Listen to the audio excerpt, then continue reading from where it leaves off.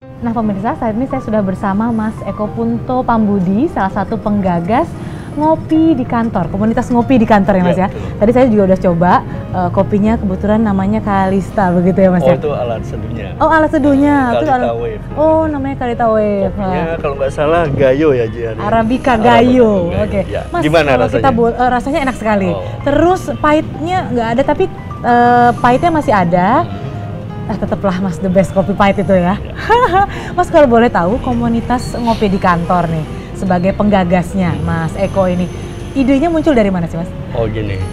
Jadi sebetulnya di Tempo ini di kantor Tempo, eh, saya dan beberapa teman itu kebetulan suka nongkrong dari kafe ke kafe. Jadi ada saya, terus ada Ijar Karim dan Mas Ajibon ini. Oke, Mas Ah. Aji juga ya. Ya kita suka mencoba kopi-kopi dari kopi-kopi dari seluruh Indonesia dengan berbagai macam apa alat seduhnya. Lalu eh, ngopi di di kafe itu kan mahal ya. ya, Nah, akhirnya ada kita teksnya juga ya Mas. Iya ada teksnya segala macam mahal. Akhirnya oh kita juga bisa nyeduh nih di rumah. Akhirnya masing-masing kita beli alat seduh sendiri Oke. manual. Nah, ternyata kita punya banyak alat seduh dan kita mau apa menularkan ke ke teman-teman di kantor. Akhirnya kita bawa ko- eh, alat seduhnya ke kantor, kita beli kopi yang kopi Indonesia yang benar, kita sajikan kepada teman-teman.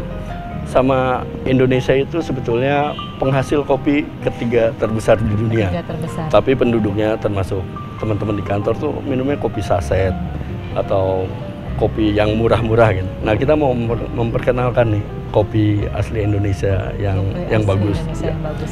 Sejak kapan berdirinya Mas ngopi di kantor ini komunitasnya? Kalau kita bertiga ngopi di kantor itu sudah sejak tahun lalu mungkin. Tapi eh, usaha kita untuk memperkenalkan di di di kantor secara resmi itu sejak bulan lalu baru. Oke. Dan sejak itu karena kita sebar ke media sosial, itu kantor-kantor lain berminat untuk mengundang kita akhirnya. Aha.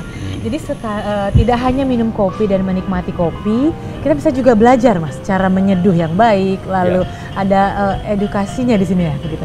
Iya, kita juga kebetulan otodidak. Kita belajar dari YouTube, dari eh, kita nggak pernah kursus. Jadi setiap alat seduh itu kita punya apa? Punya punya perbedaan hasil akhirnya. Ya.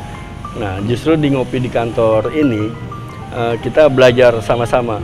Kalau kita seduh pakai alat seduh V60 misalnya, apa bedanya dengan Kalita Wave atau dengan eh, yang lainnya kira-kira gitu. Selain V60, Kalita Wave, alat seduhnya ada apa? ada ada enam yang kita punya sekarang. Oke. Ada Vietnam Drip, ada French Press, ada ada apa lagi sih? Mocha Pot, ada Mocha Pot dan tubruk. Kita juga Ah, Oke. kita coba Mhm. eh, tubruk juga.